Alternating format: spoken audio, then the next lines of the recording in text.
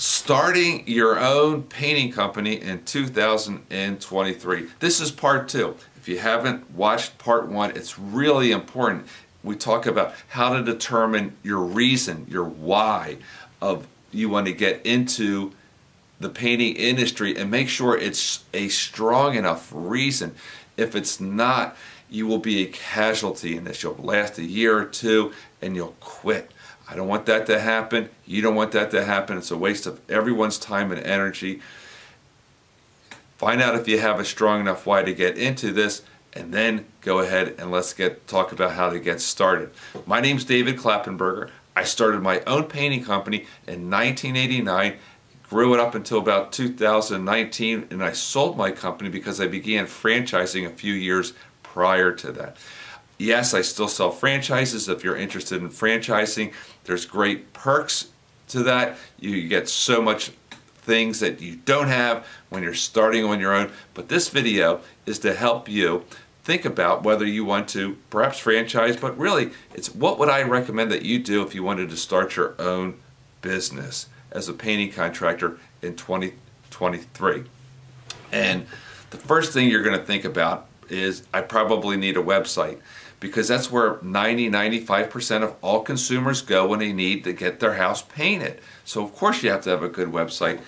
It is impossible for you to get on the first page or the second page or even the third page for years perhaps, at least, at least a year. Why? Because Angie's is on there, Yelp is on there, Home Advisor is on there. The big painting contractors who have devoted hundreds or thousands and thousands of hours on their site doing blogs, doing YouTube channel stuff, having 50, 100, 200 Google reviews.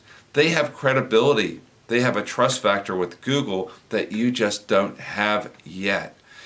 But Google is going to give it to the people who've really been putting in the work for years and years and years. So you want to have a website, but it's only so you're going to have a place to send your customers, your happy customers, when and ask them to start doing Google reviews for you. And you can start doing blogs and you can start developing your before and after pictures, your own gallery, and making it custom. But it's going to take time, and we can't rely on a good, robust website to start bringing in leads.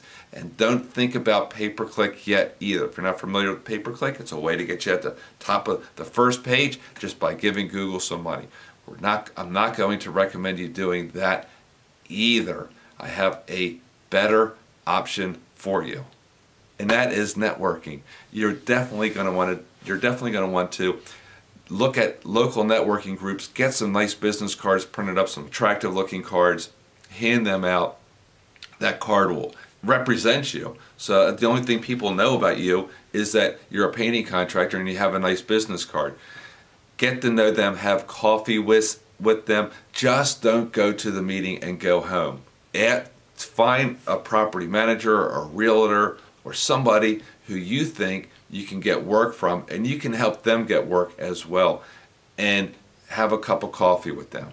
Networking is key. The other thing that you, I highly recommend you doing, it doesn't cost any money, is go on the internet, go to like Zillow for example, and look for homes that have been on the market for 30, 60, 90 days. Look at the photos and they're, they're loaded with photos. Is there wallpaper on the walls? Are the kitchen cabinets dated? Would they benefit from a fresh coat of paint? Should the wallpaper get taken off? Do they have bold and unusual colors on the inside of the house that you could you could um, neutralize? Call up the realtor and say, hey, look, I saw this house was on, on the market for 90 days. Um, a fresh coat of paint on those kitchen cabinets, you could probably raise the price a couple grand for the cost uh, uh, for selling the house and it would pay, you know, and that's what we would charge for painting the cabinets. You know, it's not, you know, we want the return on investment on painting is typically 90 to 110% depending on what website you go to talking about the best ways to fix up a home.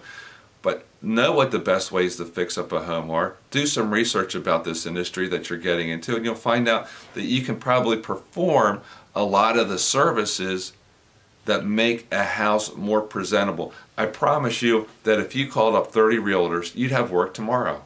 You might have work that day. They might not hire you for this project that you called on, this house, but they might have something else. Picking up the phone is a very inexpensive I, it's no fun. Nobody likes to do it. Nobody wants to make cold calls. I get it. But that's why you have to have a strong why. You have to say, what I want is to grow my business. And you got to hustle. You got to work hard. You can't just be somebody who wants to wait for the phone to ring. Look, you're starting a painting company. Nobody knows who the hell you are. Besides, you, you know, a couple friends. You have hundreds of thousands of people in your area. Got to get the name out there. If you can find a crew that is willing to work evenings, and many of them are, then you can open up some other doors of opportunity, perhaps at restaurants. You might even want to start at the restaurant where you patronize. Ask the general manager if they'd be interested in the benefits of having a fresh coat of paint on the exterior, the interior, bathrooms remodeled. Call restaurants between 2 and 4 o'clock before their dinner rush and after their lunch rush. That's usually when a general manager has a couple minutes to talk. These are great ideas.